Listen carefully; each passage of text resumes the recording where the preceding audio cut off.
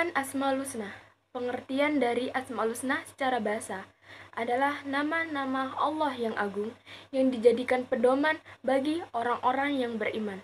Untuk memahami lebih mendalam, saya akan membahas 10 nama-nama Allah yang agung.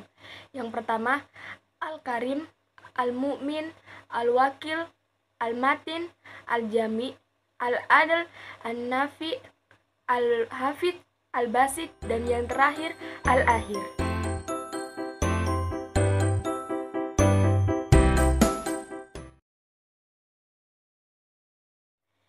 Nilai dasar Asmaul Husna Yang pertama ada Al-Karim. Secara bahasa, Al-Karim merupakan Allah yang maha mulia. Secara istilah, makna Al-Karim adalah Allah yang selalu berbuat baik kepada seluruh makhluk tanpa ada sebuah kewajiban yang harus dikerjakan.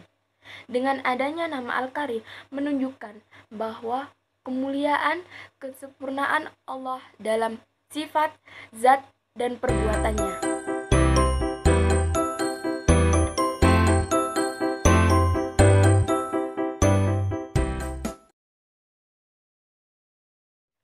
Untuk Asmaul Husna yang kedua ada Al-Mu'min. Secara bahasa, Al-Mu'min artinya Allah Maha Pemberi Keamanan.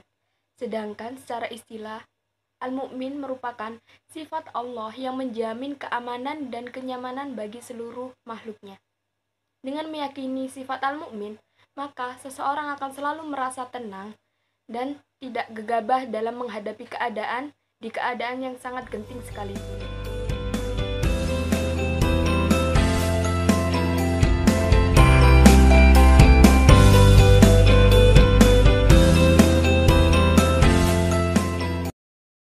Nama Asmaul Husna yang selanjutnya ada Al-Wakil. Secara bahasa, Al-Wakil artinya Allah yang maha mewakili. Sedangkan secara istilah merupakan sifat Allah yang terpercaya mengenai segala persoalan yang ada. Dengan meyakini sifat Allah, seseorang akan merasa sangat yakin bahwa segala macam urusan dan persoalan akan terselesaikan dengan baik atas izin dan pertolongan dari Allah.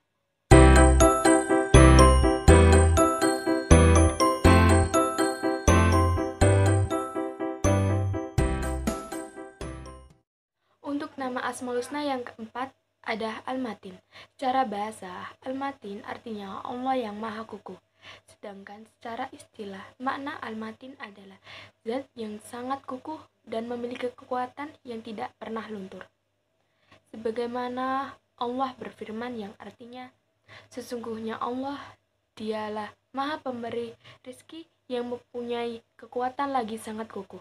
Surat Az-Zariyat ayat 58 dengan memahami dan menghayati makna al-matin, akan menyadarkan diri seorang mukmin untuk meminta pertolongan hanya kepada Allah.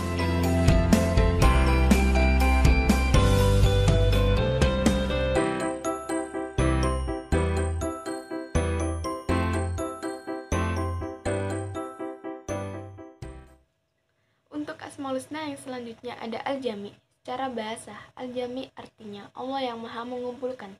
Sedangkan secara istilah, mana Al-Jami adalah Allah sebagai zat yang menghimpun seluruh manusia pada hari kiamat. Dengan memahami dan menghayati makna dari Asmaul Husna Al-Jami, akan membuat kita sadar dan yakin bahwa kita akan kembali kepada Allah dan dikumpulkan pada suatu tempat yang bernama Pada Masyar untuk menunggu penentuan nasib kita di akhirat nanti.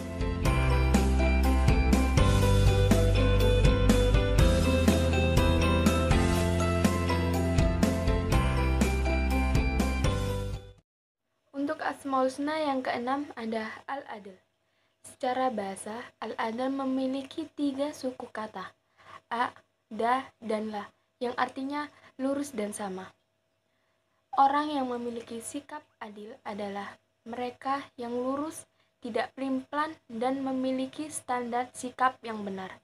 Allah Subhanahu wa Ta'ala telah menempatkan semua manusia pada posisi dan derajat yang sama.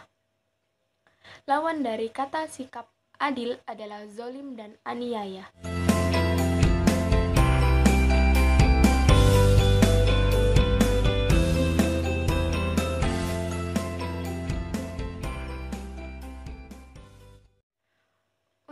Asmaul Husna yang ketujuh ada An-Nafi.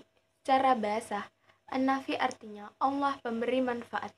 Sedangkan secara istilah Allah adalah pencipta yang telah menciptakan manusia sebagai makhluk yang baik dan memberikan karunia yang berupa akal, kalbu, fitrah, dan iman untuk menjadikan manusia sebagai makhluk yang unik dan unggul.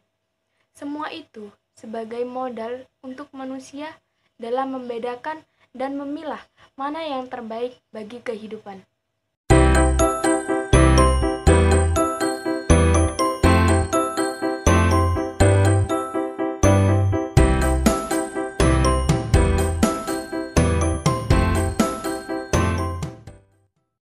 Untuk asal musnah yang selanjutnya ada al-basit. Cara bahasa, al-basit berasal dari kata ba, sa, dan ta yang artinya keterhamparan. Kemudian dikembangkan menjadi melapangkan atau memperluas. Secara istilah, al-basit dapat dimaknai dengan hak Allah yang melapangkan atau menyempitkan rezeki seorang hambanya. Sama halnya dengan hak Allah yang memperpanjang dan memperpendek umur seorang hambanya.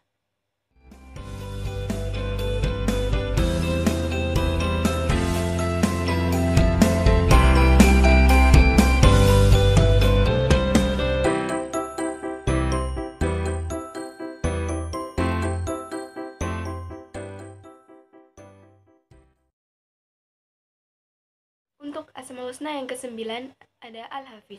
Cara bahasa, Al-Hafiz artinya Allah yang maha memelihara. Sedangkan menurut istilah dapat dimaknai dengan bahwa hanya Allah Tuhan yang maha memelihara. Tiada Tuhan selain dia yang hidup kekal lagi terus menerus mengurus hambanya. Tidak pula mengantuk dan tidak pula tertidur.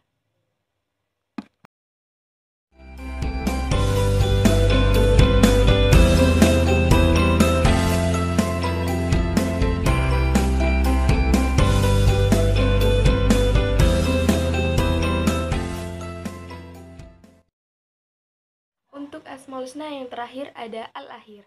Cara bahasa, Al-Akhir artinya Allah yang Maha Akhir. Sedangkan menurut istilah adalah zat yang memiliki sifat kekal dan maha akhir. Tidak ada sesuatu pun setelahnya. Meskipun seluruh alam semesta dan seisinya hancur, hanya Allah lah maha akhir yang tiada tandingannya.